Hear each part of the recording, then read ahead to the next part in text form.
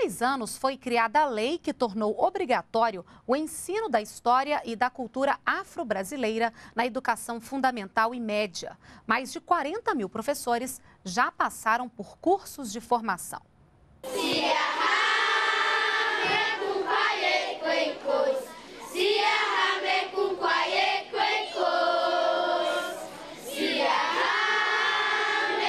Aprender é valorizar.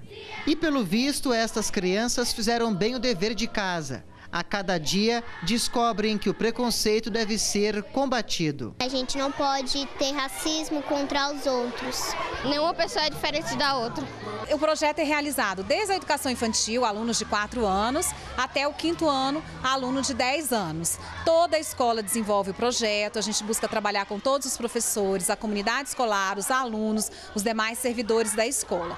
Na última década, não foi só a diminuição do preconceito nas escolas um resultado da lei que colocou no currículo do ensino fundamental e médio a cultura e história afro-brasileira. Neste período, milhares de professores foram capacitados sobre o tema. É importante a gente estar inserindo, estar incluindo, né? A gente está assim sabendo como lidar com essas situações, porque não é só ensinar e aprender em um momento específico, mas isso tem que ser feito durante todo o ano, durante toda, toda a, nossa, a nossa trajetória educacional. O racismo não é questão só de negro, está discutindo, é questão de brancos e negros.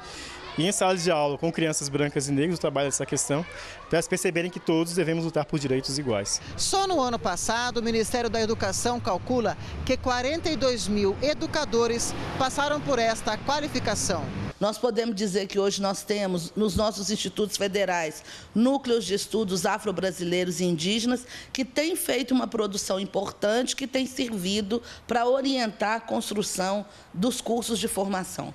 Esse tema né, era um, um tema muito silenciado do ponto de vista pedagógico e dentro das, das instituições escolares. Para a Fundação Palmares, além da conscientização, uma pitada da história é outro ingrediente que pode cada vez mais reduzir o preconceito no Brasil. A presença negra no Brasil ela é capilar, ela é abrangente, ela é expressiva e isso é que constitui efetivamente a nossa história. Isso deve ser matéria-prima, isso deve ser objeto de estudo permanente das nossas escolas, da universidade e outros espaços formativos.